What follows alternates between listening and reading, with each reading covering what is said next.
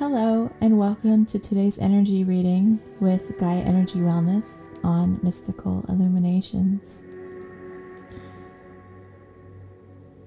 Today, take a moment to pause and reflect about the seeds you have planted over the years because your harvest is coming in like you would have never imagined.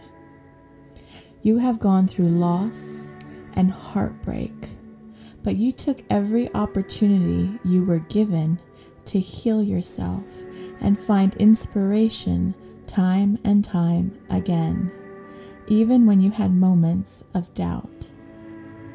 It's hard to change your life when so many distractions keep you in a repetitive karmic cycle. But each time you learned new lessons and discovered more about who you are. And now we come into a place of celebration the celebration of you. Now that you know who you are, you begin to celebrate yourself with people who have common goals and also celebrate themselves. This isn't selfish. This is understanding unconditional love. Because you have been seeking harmony and balance for so long, you began to manifest it the moment you believed you could.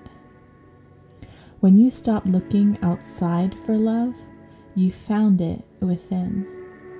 You didn't always see eye to eye with yourself you allowed others to make decisions for you, or you looked outside for validation of your gifts.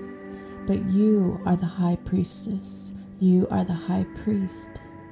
And now know how to interpret your visions and your dreams. You now trust your powerful intuition. Material wealth and abundance just come to you now because you are fully grounded in you and what you are capable of.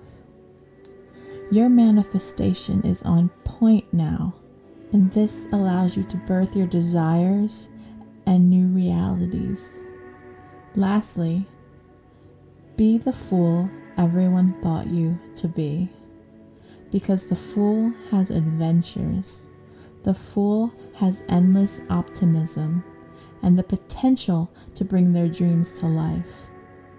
What a beautiful reading for today's new moon in Taurus energy.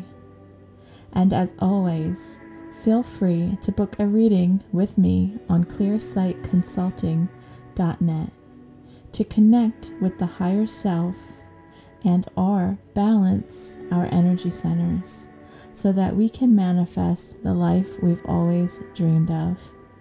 Until next time, Bye for now.